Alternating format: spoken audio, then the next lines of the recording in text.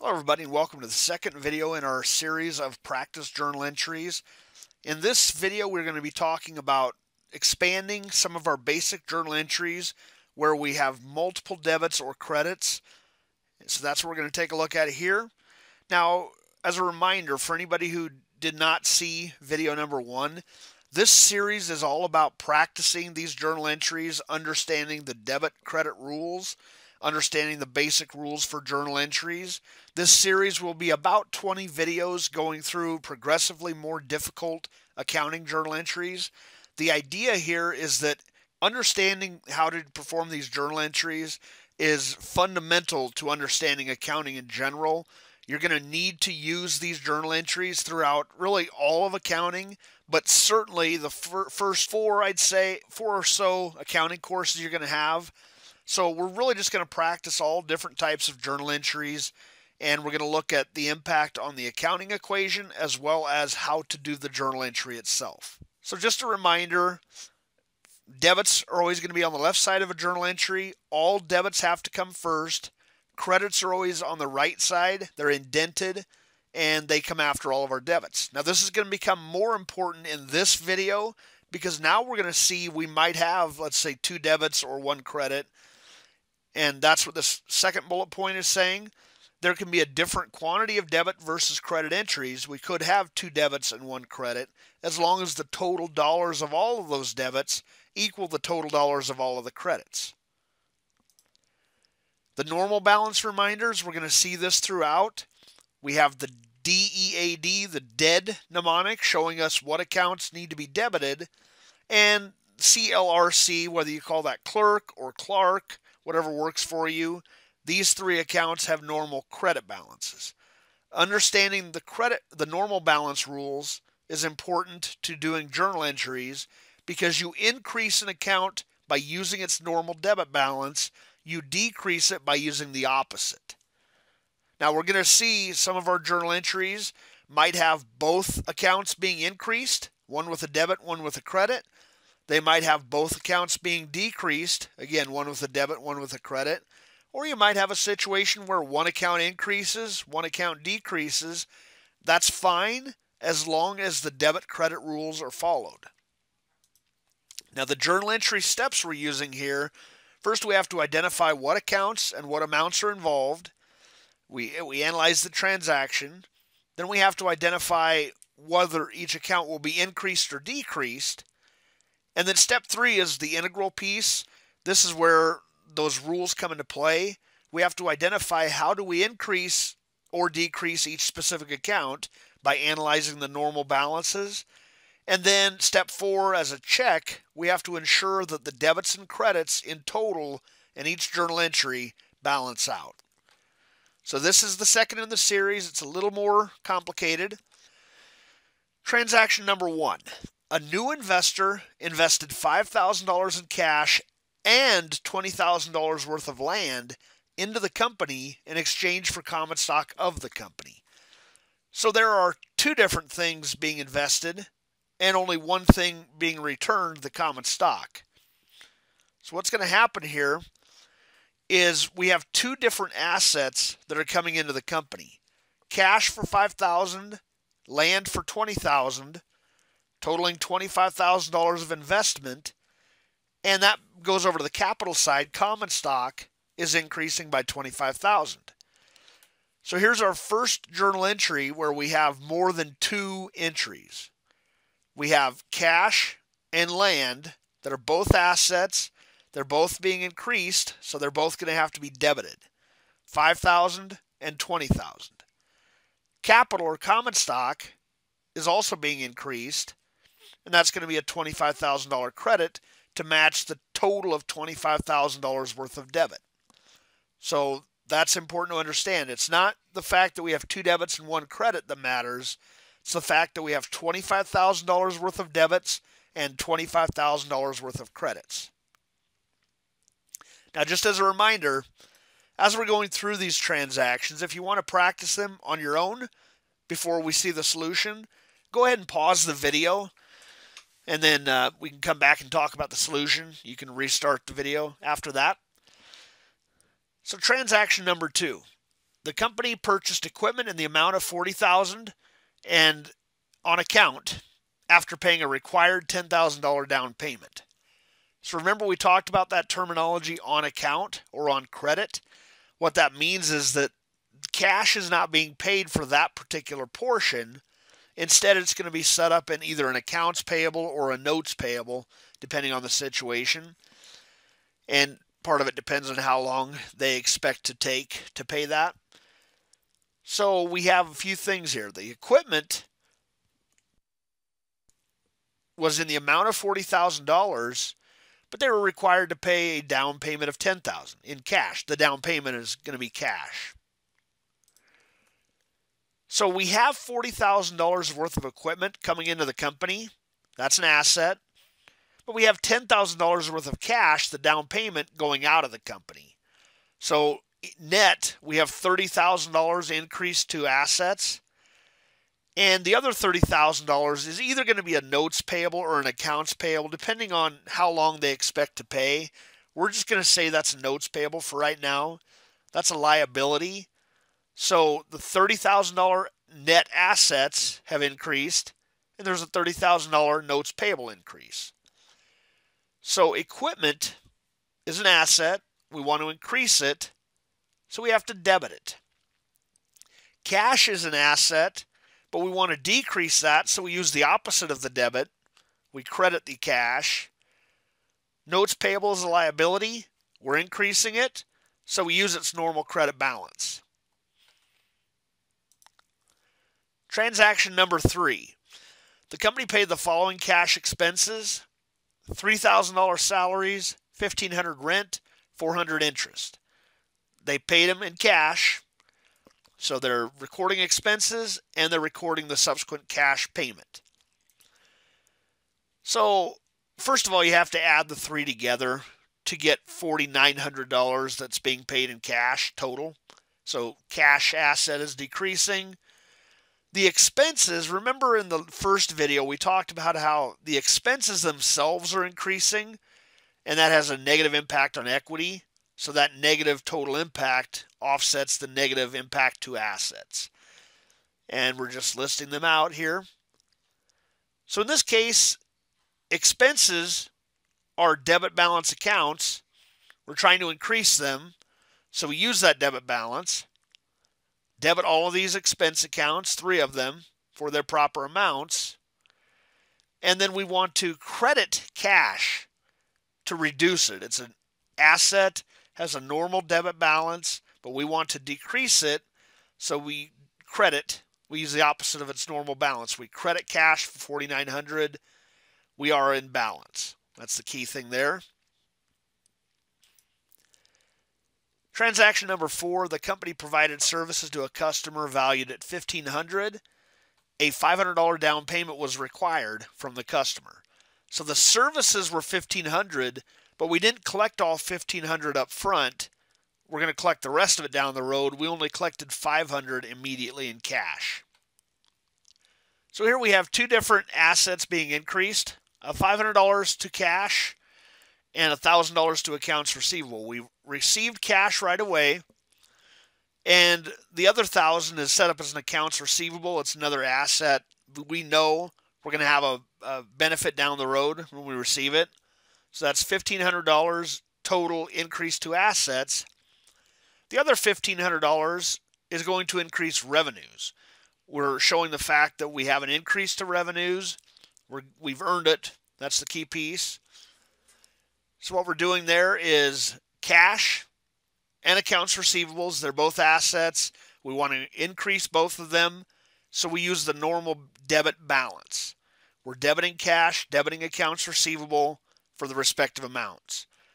Revenues are under the clerk mnemonic. We want to increase them, so we use the normal credit balance to increase them. We're crediting revenues for $1,500 to increase them. Debits and credits are in balance. Even though we have two debits, one credit, the dollar amounts are in balance. So the next one we want to talk about a bit here, transaction 5, the company received a bill of $250 for this month's telephone service.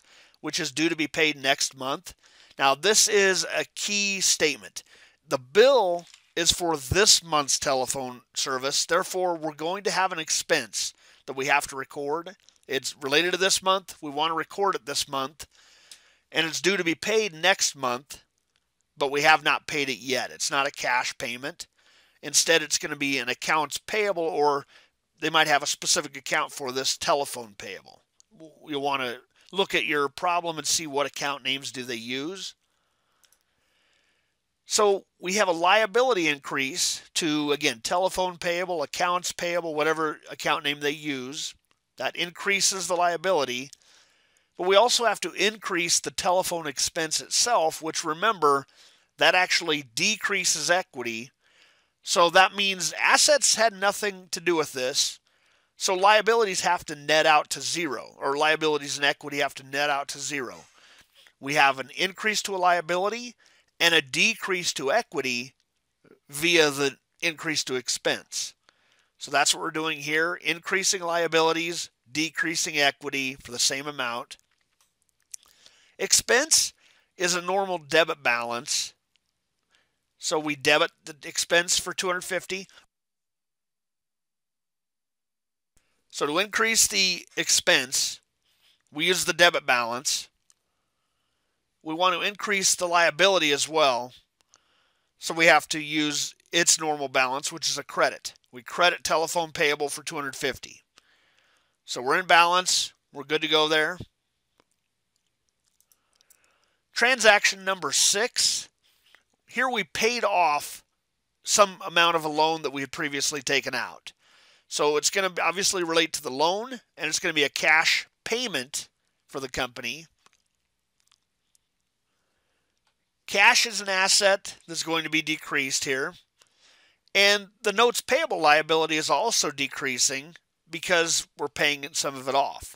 So we have a decrease to both assets and liabilities. We're still in balance.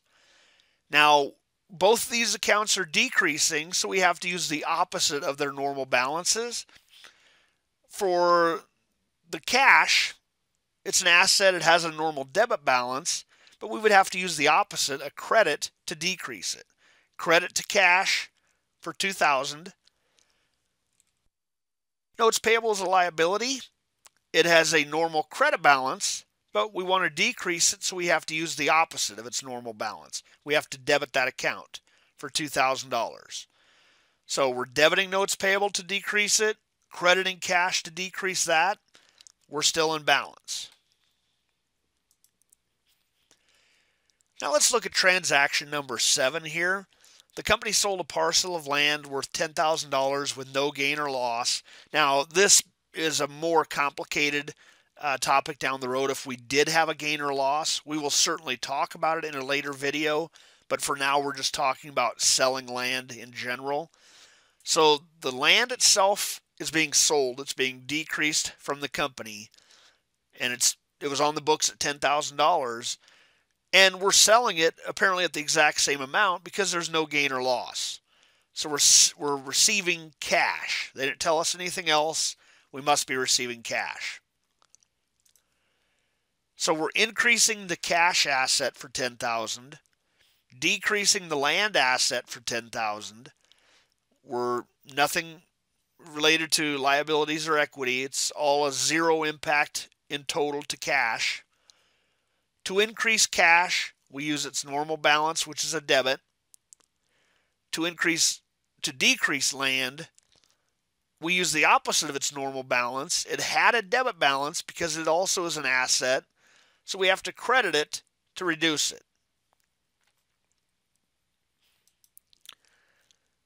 Transaction number eight. The company paid off $500 of a previous purchase they had made for supplies so they already have some sort of account set up. We're going to assume it's accounts payable. That's usually what is used for the supplies. And if you recall a previous video, uh, we talked about that supplies purchase anyways. And now we're paying off $500 of that amount. So the company paid off $500. They're paying in cash $500. And they're not going to owe as much now because they paid some off. So there's going to be a decrease to cash here. It's an asset. We're decreasing the cash asset, but we're also decreasing the accounts payable liability. So we're still in balance. Both sides of the equation are decreasing by the same amount. To decrease cash, we use the opposite of its debit balance, so we credit it. Credit cash 500. Accounts payables have their liability, they have a normal credit balance, but we have to use the opposite to decrease it, so we debit accounts payable for $500. Transaction number nine. The company purchased $750 worth of inventory on account. Again, that key phrase on account, that means we're not paying cash right away. Inventory is considered an asset. It's being increased in the company. So we have an increase to the inventory asset for 750 and an increase to the accounts payable liability for 750. We're still in balance, nothing to do with revenues or any of the other equity components. Inventory is an asset which has a normal debit balance, and we're debiting it to increase it. Accounts payable is a liability that has a normal credit balance, so we're crediting accounts payable to increase that. And we are still in balance. Finally, we come up to transaction number 10. Here, cash dividends of $1,500 were paid to stockholders. And what I want to stress here, first of all, is that dividends are not an expense account. They are a separate account that reduces equity similar to expenses, but they're not an expense account. It's money being paid out to the owners. It's not being paid for any other expense or anything like that. It's a re reduction of capital, a reduction of the the equity of the company because we're paying it back to the owners who originally paid money in. So cash dividends of $1500 were paid. There's going to be a cash entry, of course, and there's going to be a dividend re uh, recording. $1500 so $1,500 cash reduction. It's an asset reduction here. Now the dividends. This is similar to the idea of the expense because both, when increased, decrease equity. They have minus signs in front of them. So that's why we're trying to increase dividends itself. That's why I'm putting a, a positive $1,500 here. But the impact is to decrease equity which offsets the decrease to the asset. So let's go from left to right. Cash is an asset. We want to decrease it by using the opposite of its normal debit balance, which says we have to credit it. Dividends, we want to increase here. Dividends were the third one in the dead mnemonic. They have a normal debit balance, and we're trying to increase it, so we use a debit balance. We debit dividends for $1,500. We credit cash for $1,500. We are still in balance. Now that takes us through our 10 journal entries for this video in the series. Again, we're going to continue on with this series. We have about 20 different videos we're going to be going through with progressively more complicated journal entries. The idea is that by the time you go through these 20 videos, if you take the time to practice them, that should really set you up for what you're going to need, certainly for the first uh, accounting course or two, and then that'll prepare you for any use of journal entries in later courses as well. Of course, as well as real life. So hopefully this has helped to clarify some of these. I thank you for your time, and I'll talk to you in the next video in the series.